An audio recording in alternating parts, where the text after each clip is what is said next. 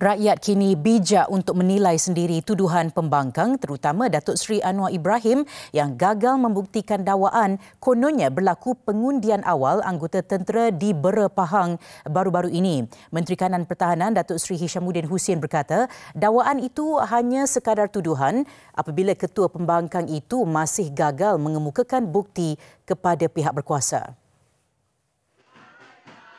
Justru Bendahari Agung BN itu menganggap tindakan pengerusi Pakatan Harapan itu keterlaluan dan silap. Saya rasa dia dia keterlaluan kali ini dan dia, dia silap dan saya percaya ramai ahli-ahli anggota kita dan orang ramai juga marah dengan Anwar Ibrahim kerana dia orang tengok kalau nak berpolitik pun janganlah sampai uh, sanggup melakukan dan buat tuduhan-tuduhan yang dulu dia kata ada bukti sampai hari ini tak ada bukti. Beliau berkata demikian ketika mengulas dakwaan calon PH Parlimen Tambun itu yang kononnya ada anggota tentera di Bera telah mengundi awal dan dibayar RM300. Beliau bagaimanapun tidak terkejut dengan situasi itu kerana tindakan membuat tuduhan tidak berasas bukanlah perkara baru kepada pembangkang, malah telah menjadi amalan mereka sejak sekian lama.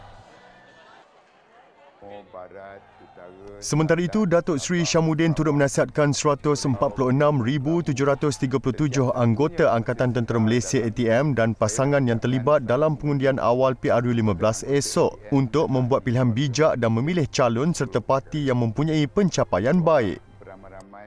Esok, satu lagi hari yang teramat penting, hari mengundi awal.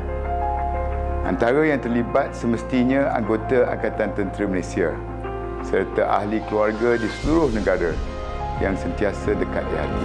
Saya nak ucapkan selamat mengundi kepada anggota ATM dan ahli keluarga masing-masing di seluruh negara. Keluarlah beramai-ramai kerana ini merupakan hak dan tanggungjawab saudara-saudari demi memastikan kestabilan dan kemakmuran negara. Setiap satu undi itu penting penting dalam menentukan kerajaan yang memerintah untuk lima tahun yang mendatang.